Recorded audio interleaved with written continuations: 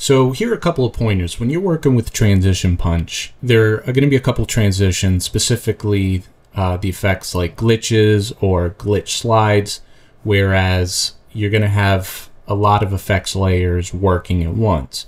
In the case like glitches, you can see that there's a lot of different layers happening, and then within each layer, there's a bunch of different effects being animated. So I do suggest that if you feel that your system is slowing down, that for one, you change your playback resolution. So if I right click on my screen monitor, I can see that I'm playing at one fourth the resolution. Okay, so this is to kind of give me more of a preview draft mode so I can see the effects run a little bit smoothly.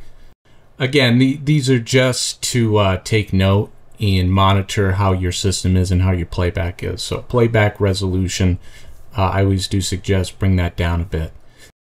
The second thing I want to note is your graphics card. So if I go into my project settings, I go to general, you can see that I'm actually working in OpenCL.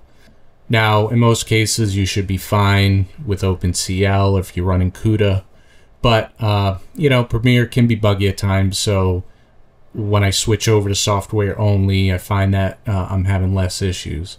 It's fine to work in software only, but make sure when you go to output or render that you change it to OpenCL or CUDA. All the effects, all the visual effects inside Transition Punch are built within Premiere. So they're using all of Premiere's built-in effects.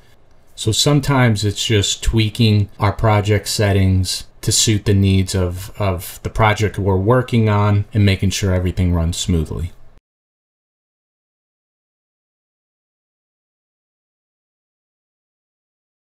So a couple common mistakes that may be made in the process of working with Transition Punch and just some things to note and look out for is for one, always make sure you check on your insert overwrite sequences button in your project timeline. Because in this case, if you don't do that, right now I have it checked off, and if I were to go to a transition and drag and drop it into my timeline, this is what's going to happen. The transitions are going to be stacked together and you're just going to get the transition pack showing up like this.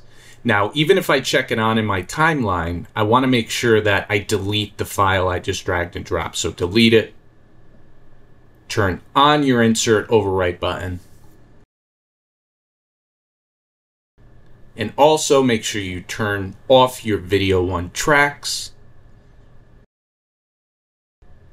And now go back, drag and drop your transition, make sure you put it in between your center cut between your two shots right here. Now you can see everything's working.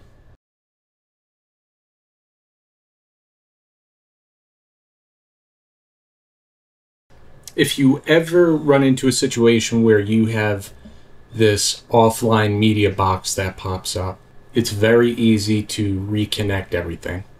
So the first file you're going to see is the transition punch plate one. And you just want to hit the locate button. And that plate, as well as all the sound effects, are inside the transition punch footage folder. And in this case, the transition punch image plate is inside the image folder. Select it, hit OK, and everything else will reconnect.